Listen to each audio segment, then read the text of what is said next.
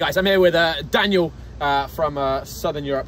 Daniel, it was a, a, crazy 10 minutes really that lost the game, wasn't it, for you guys? Yeah, um, lapse of concentration, kind of, you know, not picking up the man on the second post, especially. 10 minutes cost you, and we saw that. Overall, the flow of the game was pretty even. What are the positives you're taking away from the performance tonight? Um, I think we played the ball well, we moved well, we covered well, smart pressing, we talked.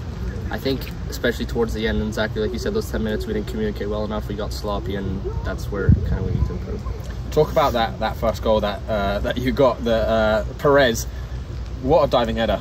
Yeah, it was great. I, I, was on the bench. I didn't I didn't see it the in the best of manner, but you know it was a great goal, great header right into the corner, and a great cross um, by Luka too. So what's going to be the focus uh, to bounce back tomorrow when you're playing North Asia? Um, forget about what happened today. I mean, not forget, take the positives, forget those those 10 minutes, make sure we're, we're on top of our game and not lose concentration this time.